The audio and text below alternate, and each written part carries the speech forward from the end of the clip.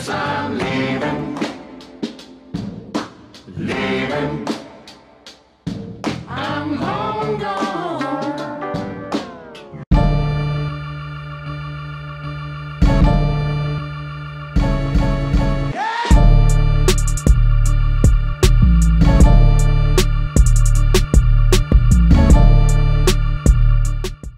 Hey, welcome back, dreamers. Today is week 12 of my AMD trading challenge where I track one company for the next 52 weeks to see if keeping track of one company, all of their news, doing market analysis on them every week, keeping track of their earnings report, and also of their competitors.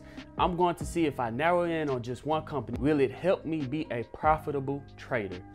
This is week 12 of my AMD trading challenge. I'm using the Robinhood platform to do all of my trades. If you guys want to sign up for Robinhood, the link is down in the description. If you sign up using my link, you'll get a free stock and I'll get a free stock just for signing up. So here we are on AMD. AMD is at $76.30. This is probably one of the lowest that we have seen AMD over the last couple of weeks.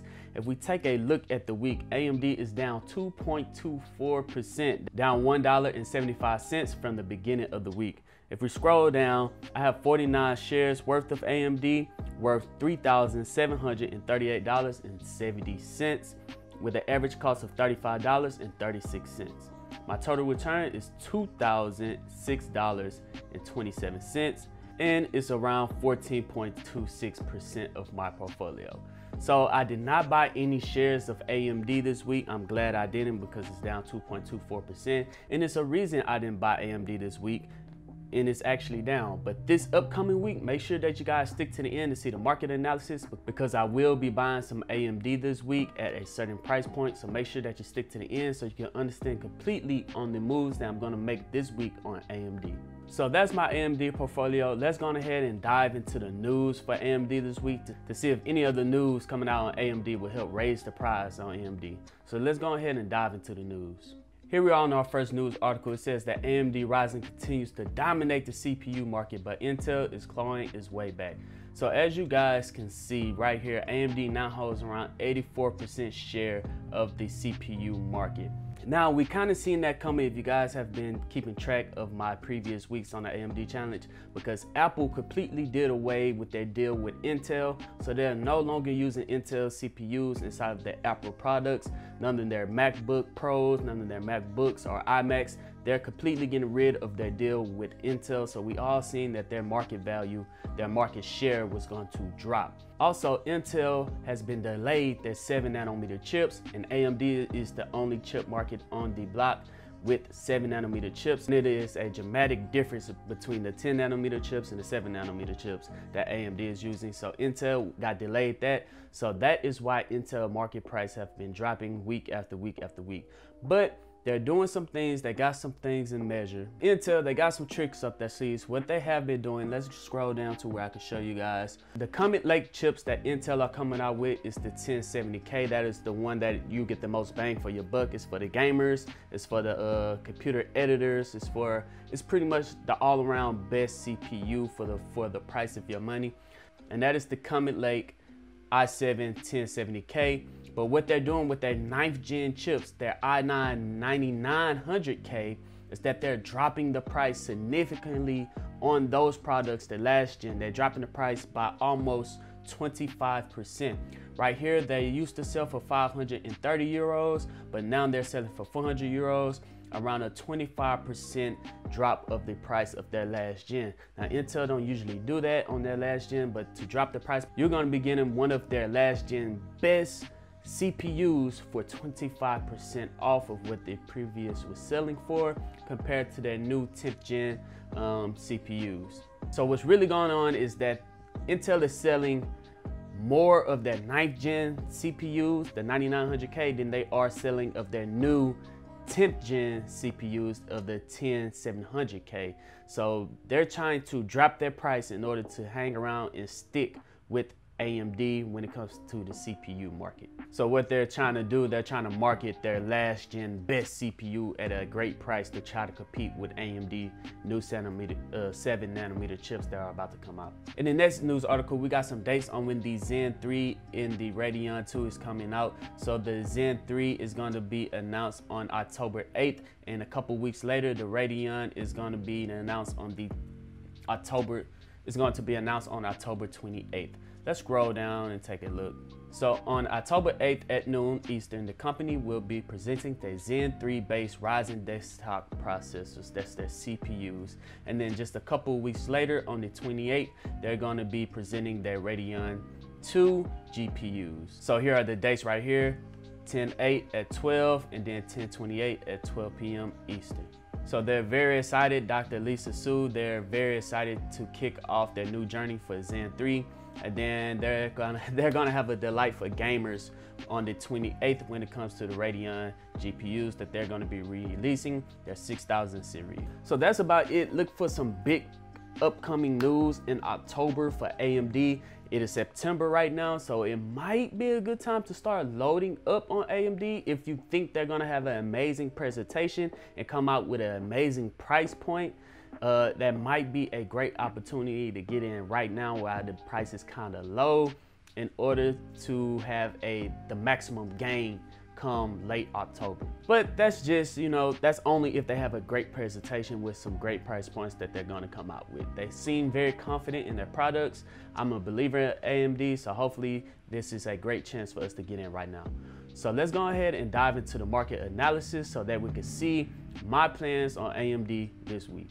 All right, here we are on Thinkorswim, the TD Ameritrade platform that I use. Right now, we're on the four hour, 180 day chart right here. That means every bar that you guys see is worth four hours in the trading day over the last 180 days. So if you guys know, I drew out these lines a couple weeks ago and so far it's staying true. This line that I drew out last week and the week before and the week before before, I said that it was gonna be a sign of support and right now, it's looking at its current support right now around $76.34. And let's zoom in a little bit more because last week I said right here when it bounced off its old support that it was going to try to stay true to the 180 day simple moving average, which is the green line. And it did for the most part, but then it ended up breaking back down to retest the support line. Now this is major for me because if it's retesting the support line right here and it's still low on the RSI, if it continues to bounce back up, I'm going to take this swing trade from around 76, $77 if it comes up to 77 and take it all the way back up to around the green line for a percent gain of around 5%. Now, if I want to hold on to it for a little bit longer, I will hold on to it all the way back up to its old resistance line, which is this one I drew out at around a 12%, uh, uh, yes, around a 12% gain over the next couple of weeks. But that's if AMD starts to do good. If you guys are very conscious, wait for wait for AMD to break above the green line right here and then see that it's trading in an upward trend and then get in and you can still get a 6% gain. Or if you guys just want to get in early right now, you can if you want to and have a 12 a 12 to 13% gain opportunity. But it could fall down just a little bit. Let's draw out a line if AMD was to fall. Let's draw a little support line, another support line, this one right here.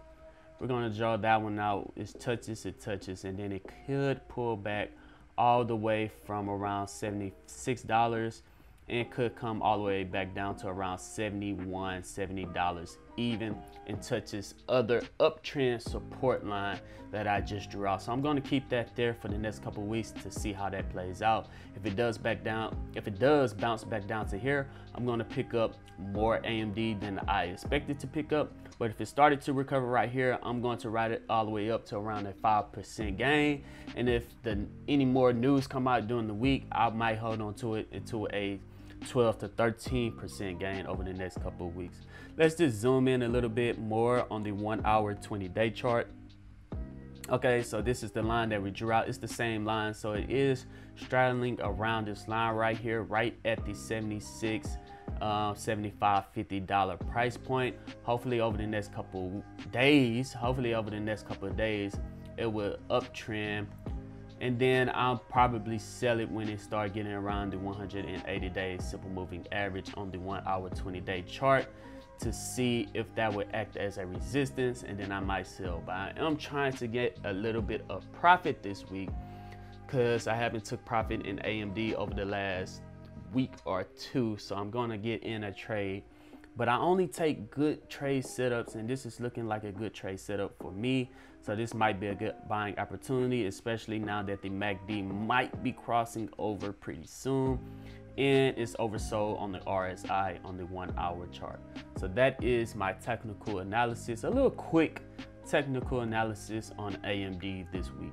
All right, guys, if you're liking this series, I asked for 100 thumbs up on the last video and you guys killed it. So maybe this week we could get 150, 150 thumbs up on this video. It really lets me know that you guys are enjoying the series. And if you're taking any trades on AMD, leave them down in the description and let me know what kind of profits or losses that you guys are taking um, while watching this challenge and if it's helping you out at all. And also, if you don't want to miss out on any of the AMD series, make sure that you guys subscribe to this channel so you don't miss out on any future videos. But other than that, I'm Zeke, bringing you the Dream Green Show, and I'm out. Peace.